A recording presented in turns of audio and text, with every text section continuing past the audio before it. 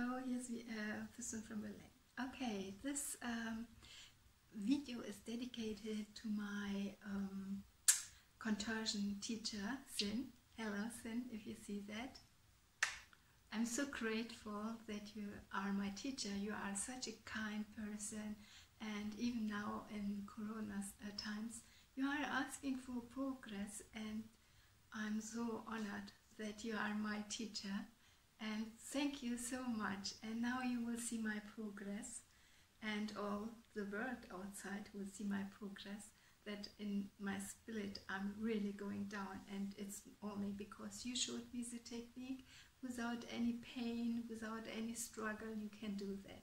Okay guys I'm showing it.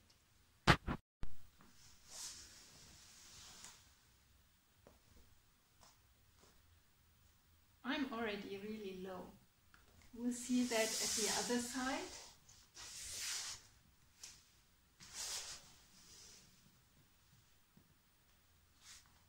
So now you see it better.